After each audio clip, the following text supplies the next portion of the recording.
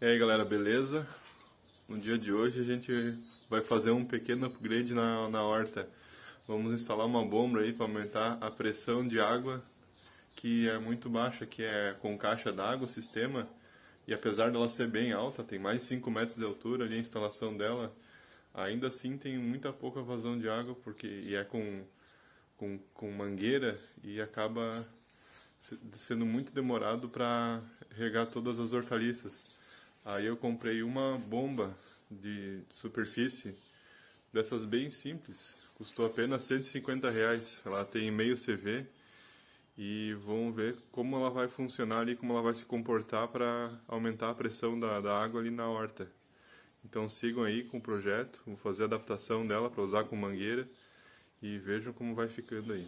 Então galera, eu comprei esse kitzinho aqui, montei lá na, na loja para poder transformar a bomba ali para ser utilizada apenas com a, com a mangueira. Ela vai puxar de uma torneira que tem lá na, lá na horta, já que a gente instalou, e vai distribuir para a mangueira. Aí é assim o kit.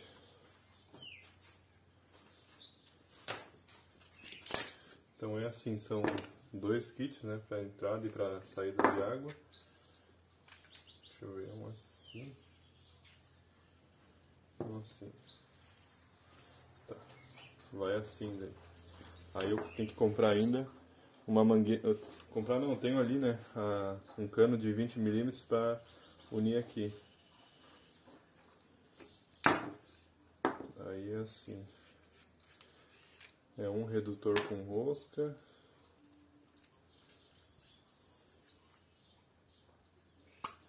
Isso aqui, um engate rápido, que vai na mangueira, né? Os dois vão na mangueira.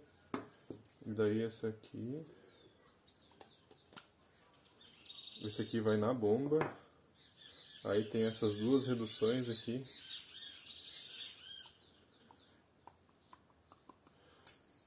Aí tive que usar duas reduções lá porque não tinha.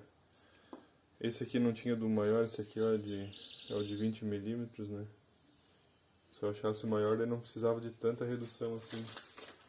Aí os dois kitzinhos deu 19 reais. Um parzinho, né? Aí vai nessa bomba aqui. Que eu encontrei no Mercado Livre por... Tava 150 reais mais ou menos.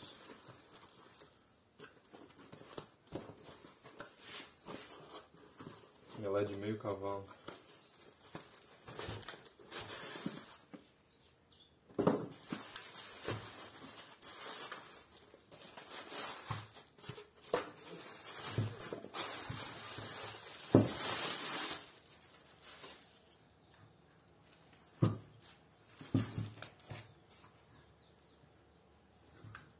Tem que tomada.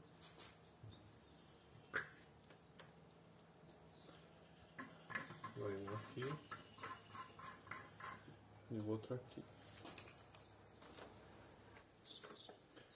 Ela tem uma vazão de 24 litros por minuto. Ela consegue puxar até 8 metros de altura. Aí vai ser útil para a hora que tiver uma cisterna ou colo colocar, reter água numa caixa d'água ali, reaproveitar a água da chuva, ou até mesmo de algum balde que fica ali sobrando embaixo da, da pia. No sistema que eu fiz na horta ali eu não coloquei um cano né, para vazar a água do, da pia, eu coloquei um balde embaixo, daí a gente pode reaproveitar essa água também. Água entra por aqui e sai aqui por cima. Então agora a gente vai seguir montando aqui. Bom, tem que colar essas partes aqui e preparar ela para deixar ela ali na horta ou fazer até móvel mesmo. Vamos ver como é que vai ficar. Você acompanha aí.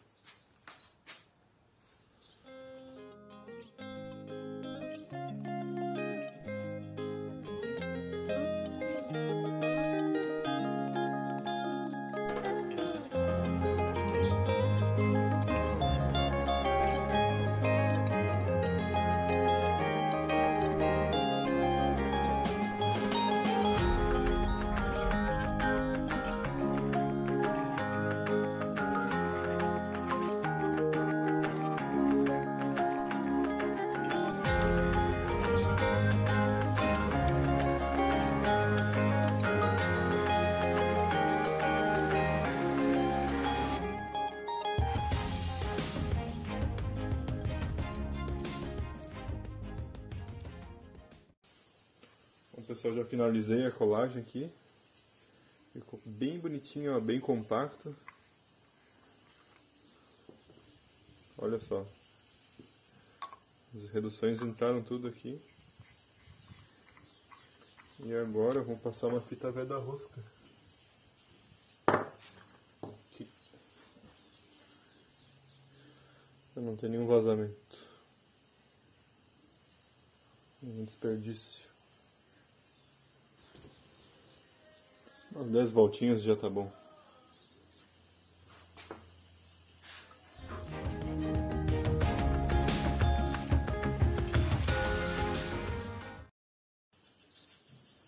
tem a borrachinha no fundo. Aí não vai vazar. Bem, agora vamos à parte elétrica.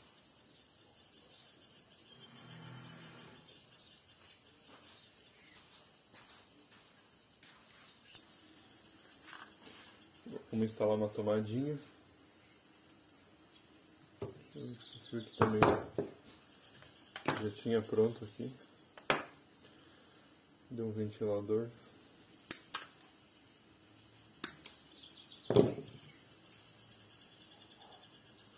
Acredito que vai ser o suficiente, porque tem 370 watts a bomba. Fio aqui acredito que já vai. Né? O ideal, ideal seria uma, uma fita termorretrátil ou até aquele isolador. É bom lembrar de não molhar isso aqui.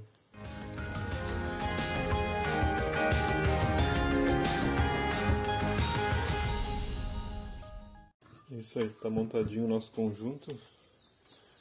Momentaneamente eu vou colocar uma extensão lá pra, pra gente testar. E ver como é que vai ser a vazão. Então vamos seguindo lá. Então galera, só para exemplificar, eu vou abrir a torneira aqui. Vou mostrar a quantidade de água que sai na, na mangueira. Ela tem uns, uns 20 metros mais ou menos. E sai assim água.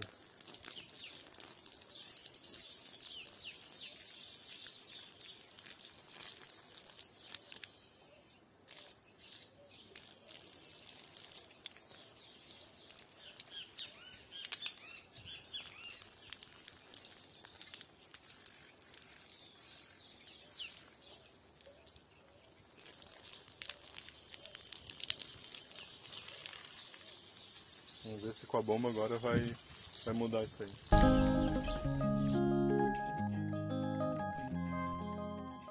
Eu tinha esses engates antigos assim, que era direto.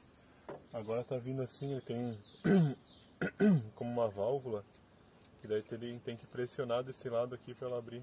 Que é interessante.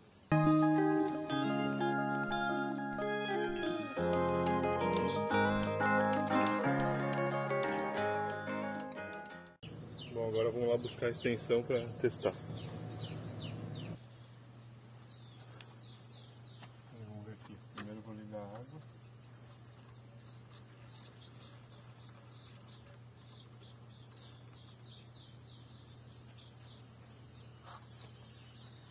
Agora vamos ligar a bomba.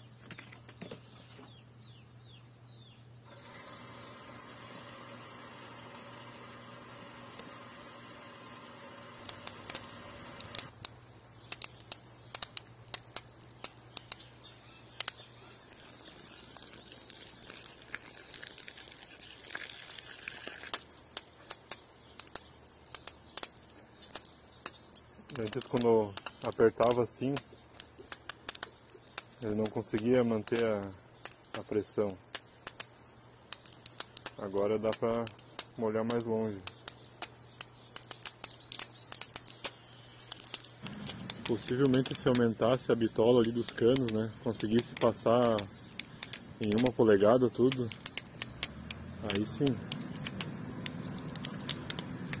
futuramente pode, pode ser utilizado também para um sistema automatizado aí, colocar um sistema de gotejamento aqui na horta, aí a, já tem a bomba para fazer isso. Aí precisa da, instalar o próprio encanamento aqui para irrigar tudo.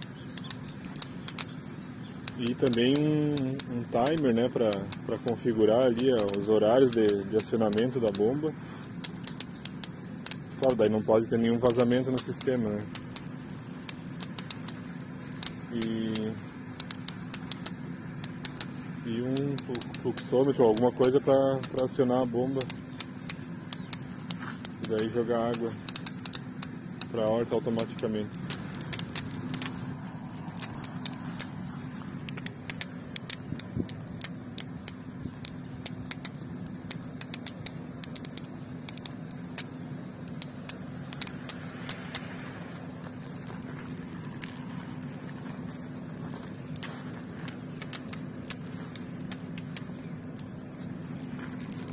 Então é isso aí, pessoal.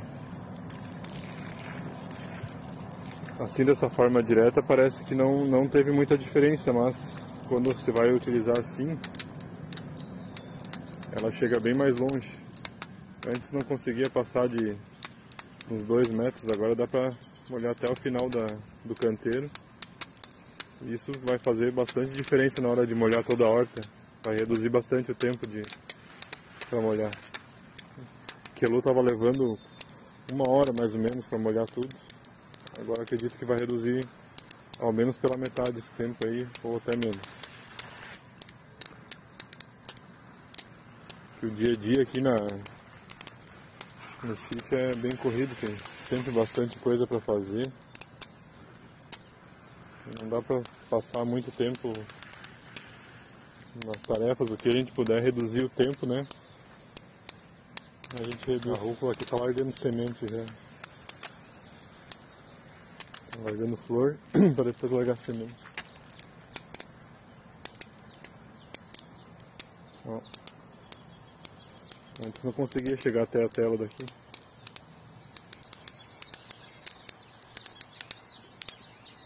A água daqui é, é, fonte natural, é uma cacimba que tem ali na parte baixa do, do terreno.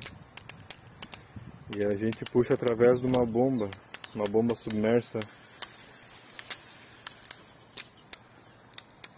Daí vai para aquela caixa d'água ali.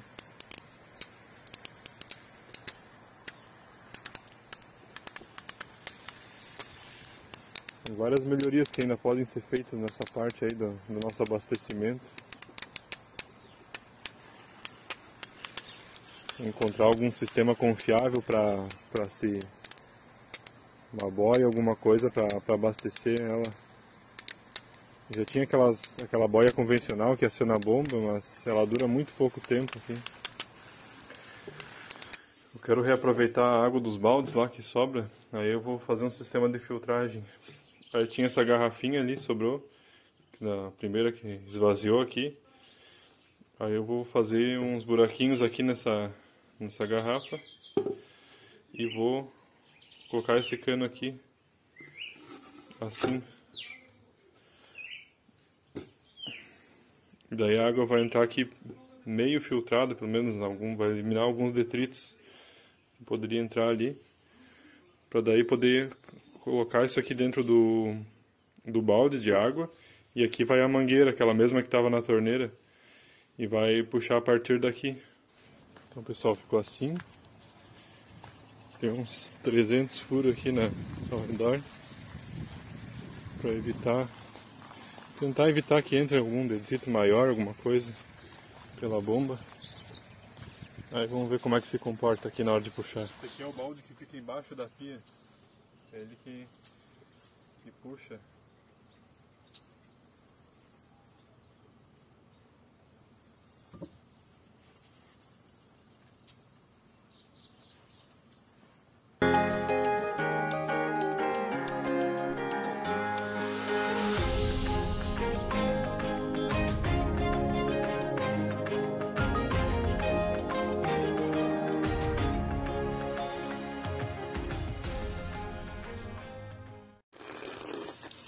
certo, agora. Assim. Agora a gente pode reaproveitar a água. Só tem que dar um jeito de fazer ela ficar lá embaixo.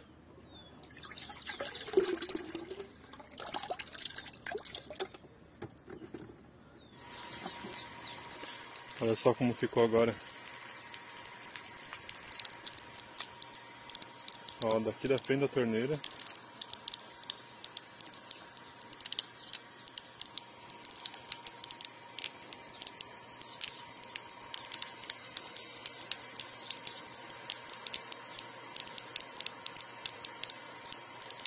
Molhar lá na frente. Eu troquei pelos pelos antigos que eu tinha aqui, que não tem essa válvula. Aí deu uma melhoradinha aqui. Tem aqui do desse com válvula aqui ainda, mas ela tá indo bem longe. Né? Coloquei a torneira, essa torneirinha que eu tinha aqui, daí ela fecha automático. Eu preciso comprar uma uma torneira dessa aqui melhor. Aí eu consigo focalizar mais e mais distante com a água. Pessoal, estou trabalhando aqui na bomba ainda. Eu alterei aqui a posição que ela fica. Esse aqui fica para cima. E eu coloquei para o lado assim. E fiz essa basezinha de madeira aqui. Já furei aqui certinho. Para poder fixar lá. Fiz a furação. Aí eu vou fixar embaixo da pia. Essa aqui é a base que eu fiz bem simplesinho com eucaliptus. Aí eu vou colocar embaixo da pia, vou parafusar o, a bomba. Pra, por que embaixo da pia? Porque daí fica protegido da, da chuva e das intempéries. E também eu posso colocar um balde de 20 litros em cima da pia para puxar direto ali. Por que eu tenho que colocar em cima da pia? Porque como eu inverti aqui, essa a frente da bomba, eu perco a função desse parafuso aqui, que é para liberar o ar preso aqui na, na tubulação da, da bomba. Aí eu tenho que sempre colocar a fonte de água acima da, da bomba, porque ela foi projetada para puxar de, de, de poços, né? Até 8 metros de profundidade ela, ela puxaria. Ou usar a superfície para jogar para a caixa d'água, né? Então, como eu vou usar dessa forma, eu inverti aqui a, a posição dela. E a seguir vou, vou instalar ela aí na, na horta para poder ser utilizada. Agora ficou aqui embaixo a bomba. Bem instaladinha, bem firme, fixa. Aqui embaixo da pia, bem protegida. Quase invisível. É isso aí. Próximo passo é fazer uma tomada aqui, puxar do galpão mesmo e deixar um lugar bem seguro aqui.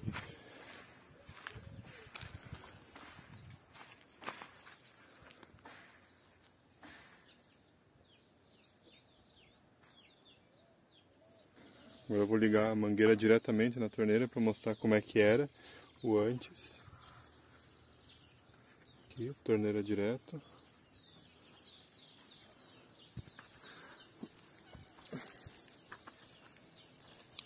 Ó, mesmo forçando, chega só no máximo aí a uns 2 metros.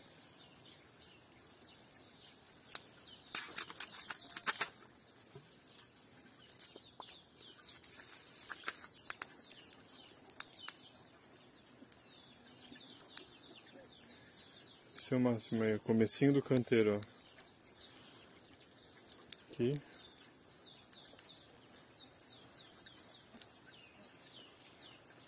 Vai até aí.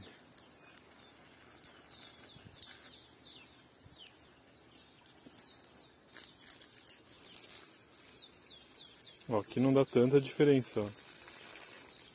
Mas daí na hora que focaliza aí a pressão, vai até ali. E agora com a bomba.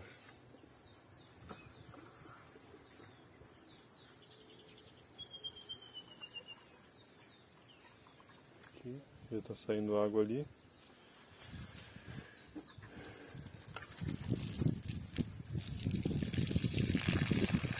Está ligando a bomba.